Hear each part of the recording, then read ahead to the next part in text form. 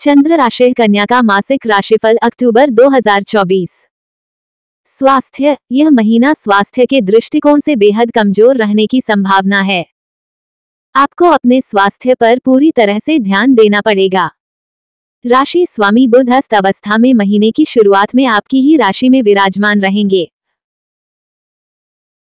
उनके साथ सूर्य और केतु भी होंगे तथा राहु सप्तम भाव में विराजमान होंगे। शनि महाराज अपनी ही राशि कुंभ से होकर छठे भाव में वक्री अवस्था में रहेंगे तो देवगुरु बृहस्पति महाराज नवम भाव में बैठकर प्रथम भाव को देखेंगे और मंगल दशम भाव से प्रथम भाव पर दृष्टि डालेंगे। इस महीने आपकी रोग प्रतिरोधक क्षमता कमज़ोर होने के कारण आप आसानी से किसी भी रोग की चपेट में आ सकते हैं। इसलिए अपनी स्वास्थ्य समस्याओं के प्रति सचेत रहें। आपको किसी प्रकार का पेट या अन्य प्रकार का संक्रमण परेशान कर सकता है। इसके अतिरिक्त मानसिक तनाव से भी आपको जूझना पड़ सकता है। महीने का पूर्वार्ध ज़्यादा कमज़ोर है। महीने के उत्तरार्ध में अपेक्षाकृत धीरे धीरे स्वास्थ्य में सुधार आना शुरू हो जाएगा। आपको यदि कोई बड़ी समस्या महसूस हो रही है तो तत्काल प्रभाव से चिकित्सा की देखरेख में अपना उपचार कारण ताकि आप स्वस्थ हो सकें। करियर करियर के दृष्टिकोण से यह महीना अनुकूल रहने की संभावना है। दशम भाव में मंगल महाराज महीने की शुरुआत में रहेंगे और दशम भाव के स्वामी बुद्ध महाराज आपके प्रथम भाव में अपनी उच्च राशि कन्या में सूर्य और केतु के साथ स्थित रहेंगे। उनके ऊपर देवगुरु बृहस्पति की भी पूर्ण दृष्टि रहेगी। इससे आप अपनी नौकरी में अपनी सूझबूझ का परिचय देंगे। आपके हाजिर जवाब और आपकी काम के प्रति कुशलता आपको सबसे आगे रखेगी। जिससे कार्य क्षेत्र में अच्छे सफलता के योग बन सकते हैं। छठे भाव के स्वामी शनि महाराज छठे ही भाव में विराजमान रहेंगे, लेकिन वक्री अवस्था में होने से आपको नौकरी में कठिन मेहनत करनी होगी। आपके ऊपर काम का दबाव भी होगा, लेकिन आप किसी भी चीज़ से घबराएँगे नहीं और अपना शत प्रतिशत योगदान देने में कामयाब रहेंगे। आपके सहकर्मियों का विशेष सहयोग आपको मिलेगा, जिससे आप कार्य क्षेत्र में अच्छी स्थिति प्राप्त करने में कामयाब रहेंगे। उसके बाद मंगल आपके एक आदर्श भाव में 20 अक्टूबर को चले जाएँगे, जिससे आपको और बेहतर परिणाम की प्राप्ति होगी। बुध महाराज 10 अक्टूबर से आपके दूसरे भाव में जाएँगे, जो आपको नौकरी में अच्छी आमदनी भी प्रदान करेगा। व्यापार करने वाले जातकों के लिए महीना ठीक ठाक रहने की संभावना है। आप अपनी सूझबूझ और तेज बुद्धि का इस्तेमाल करते हुए व्यापार में कुछ नई तेज़ी लेकर आएँगे। कुछ नए लोगों से आपके नए संपर्क स्थापित होंगे और आपको इससे लाभ मिलेगा। व्यावसायिक साझेदार से अगर अच्छे संबंध बनाकर रखेंगे तो इससे आपको अत्यधिक लाभ होगा। महीने की शुरुआत में सूर्य, बुध और केतु प्रथम भाव में बैठकर सप्तम भाव को देखेंगे। जिससे व्यापार में कुछ शिथिलता भी आ सकती है, इसलिए कुछ चुनौतियों के लिए आपको तैयार रहना होगा, लेकिन महीने का उत्तरार्ध अनुकूल रहेगा, जिससे व्यापार में प्रगति होगी। प्रेम, विवाह, व्यक्तिगत संबंध। यदि आप किसी प्रेम संबंध में हैं तो यह महीना कुछ कठिन रहेगा। मंगल महाराज महीने की शुरुआत में दशम भाव में बैठकर आपके पंचम भाव को अष्टम दृष्टि से देखकर प्रेम भाव को कमज़ोर कर सकते हैं। पंचम भाव के स्वामी वक्री शनि छठे भाव में रहेंगे, जो प्रेम के मामले में आपको कठिन चुनौतियाँ में घेर कर रखेंगे। आपको बार बार परीक्षा से गुजरना होगा और अपने आप को साबित करना होगा। हालाँकि देवगुरु बृहस्पति की दृष्टि नवम भाव से पंचम भाव पर होने के कारण आप अपनी जिम्मेदारियाँ को भी निभाएँगे और अपने रिश्ते को भी बराबर महत्व देते जाएँगे, जिससे आपका प्रेम जीवन अच्छा चलेगा। लेकिन 9 अक्टूबर से बृहस्पति वक्री हो जाएँगे और मंगल भी 20 अक्टूबर से कर्क राशि में, यानी कि अपनी नीच राशि में एकादश भाव में जाकर आपके पंचम भाव को देखेंगे जो आपके रिश्ते के लिए अच्छा नहीं होगा, इसलिए आपको सावधानी बरतनी होगी। वह आपके पंचमेश शनि महाराज से सदाश्ताक योग का निर्माण होगा जो आपके प्रेम संबंधों के लिए अनुकूल साबित न होने की संभावना है, इसलिए किसी भी वाद विवाद को बढ़ाने से पहले ही आपको संभलने की कोशिश करनी होगी। ताकि आपका प्रेम जीवन ठीक ठाक चलता रहे। विवाहित जातकों की बात करें तो राहु महाराज पूरे महीने सप्तम भाव में विराजमान रहेंगे और सप्तम भाव के स्वामी बृहस्पति महाराज नवम भाव में रहेंगे।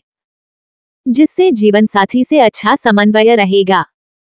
आप अपने जीवन साथी के साथ कहीं ना कहीं घूमने या किसी तीर्थ स्थान की यात्रा पर जा सकते हैं। सूर्य, बुध और केतु प्रथम भाव में बैठे रहेंगे। महीने की शुरुआत में आपका वैवाहिक जीवन को परेशानियों में डाल सकते हैं। उसके बाद महीने का उत्तरार्ध अपेक्षाकृत अनुकूल रहेगा और तब इन समस्याओं में कमी आएगी, जिससे आप राहत की सांस लेंगे। सलाह, आपको अपने राशि स्वामी बुद्ध महाराज के विशेष रत्न पन्ना रत्न को अपनी कनिष्ठिका अंगुली में बुधवार के दिन धारण करना चाहिए। आपको प्रतिदिन भगवान श्री हरि विष्णु जी की उपासना करनी चाहिए। आपको शुक्र ग्रह के बीज मंत्र का जाप करना भी अत्यंत लाभदायक साबित होगा।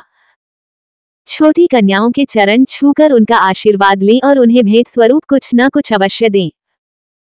सामान्य कन्या राशि में जन्मे जातकों के लिए यह महीना मिश्रित परिणाम लेकर आएगा। आपको अपने स्वास्थ्य का विशेष रूप से ध्यान रखने की आवश्यकता पड़ेगी क्योंकि इस महीने आपकी सेहत कमज़ोर रह सकती है और आप बीमारियों की चपेट में आ सकते हैं। आपके रोग प्रतिरोधक क्षमता में भी कमी होने के संकेत मिलते हैं। जिससे आप किसी भी संक्रमण की चपेट में आसानी से आ सकते हैं, इसलिए इस पूरे ही महीने अपने स्वास्थ्य का बेहतर तरीके से ध्यान रखें। जहाँ तक करियर के मामले की बात है तो नौकरी में उतार चढ़ाव की स्थिति आएगी। फिर भी आप अच्छी स्थिति में रहेंगे, व्यापार करने वाले जातकों को तेज बुद्धि का लाभ मिलेगा। अपने व्यावसायिक साझेदार से अच्छे संबंधों के कारण आपके व्यापार में उन्नति होगी, लेकिन कई ऐसी चुनौतियाँ आपके सामने आएँगे जो व्यापार की गति को शिथिल कर सकती हैं, इसलिए सावधानी से आगे बढ़े। पारिवारिक जीवन में अच्छी स्थिति रहने की संभावना है। प्रेम संबंधों के लिए समय ठीक ठाक रहेगा, जबकि वैवाहिक जीवन में तनाव और टकराव की स्थिति बनती बिगड़ती रहेगी। आर्थिक रूप से महीना ठीक ठाक रहने की संभावना है जबकि विद्यार्थियों को कठिन चुनौतियों के लिए तैयार रहना होगा। आप पढ़ाई के लिए विदेश जाने में कामयाब हो सकते हैं। वित्त, यदि आपकी आर्थिक स्थिति को देखा जाए तो यह महीना बहुत हद तक आपको अच्छे परिणाम प्रदान कर सकता है, लेकिन शनि महाराज छठे भाव में वक्री अवस्था में बैठकर द्वादश भाव को देखेंगे जो आपकी आर्थिक चुनौतियों का कारण बन सकते हैं और आपके किसी न किसी खर्च को लगातार बनाए रखेंगे। इस महीने आपको किसी के स्वास्थ्य पर भी खर्च करना पड़ सकता है या आप खुद भी बीमार हो सकते हैं इसलिए आपको अपने स्वास्थ्य पर भी खर्च करना पड़ सकता है। मंगल महाराज महीने की शुरुआत में दशम भाव में रहेंगे और 20 अक्टूबर से आपका एक आदर्श भाव में आकर आपकी आर्थिक आमदनी में अच्छी बढ़ोतरी दिखा रहे हैं। शुक्र महाराज महीने की शुरुआत में दूसरे भाव के स्वामी होकर दूसरे भाव में विराजमान रहकर आपके बैंक बैलेंस में वृद्धि करेंगे और धन को संचित करने में मदद करेंगे। जिससे आपकी आर्थिक स्थिति दिन प्रतिदिन बढ़िया होती जाएगी। उसके बाद सूर्य और बुध महीने के उत्तरार्ध में आपके दूसरे भाव में रहेंगे। ये भी आपकी आर्थिक स्थिति को बेहतर बनाने में आपकी मदद करेंगे। देवगुरु बृहस्पति नवम भाव में बैठकर प्रथम भाव को देखेंगे और आपको सही निर्णय लेकर आर्थिक तौर पर मज़बूत बनाने में मदद करेंगे।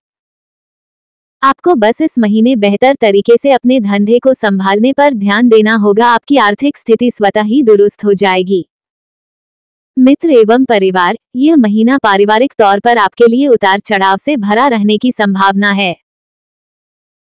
फिर भी आपको कुछ अच्छे पल व्यतीत करने को प्राप्त होंगे और घर का माहौल अच्छा भी रहेगा क्योंकि दूसरे भाव के स्वामी शुक्र महाराज महीने की शुरुआत में दूसरे भाव में ही विराजमान रहेंगे। जो कुटुंब के सदस्यों में आपस में प्रेम भाव बढ़ाएँगे। आपके परिवार में कोई बड़ा फ़ंक्शन या शादी विवाह का कार्यक्रम संपन्न हो सकता है। या किसी का जन्मदिन भी मनाया जा सकता है। चौथे भाव के स्वामी देवगुरु बृहस्पति नवम भाव में विराजमान रहेंगे जो 9 अक्टूबर से वक्री भी हो जाएँगे और मंगल की दृष्टि दशम भाव से आपके चौथे भाव पर रहेगी।